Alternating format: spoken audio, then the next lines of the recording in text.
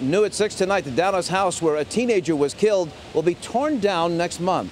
13-year-old Shavon Randle died here in July after being kidnapped and held for ransom over drugs. That home will be demolished on October 19th, replaced by a tree and a plaque in Shavon's memory. Now to that breaking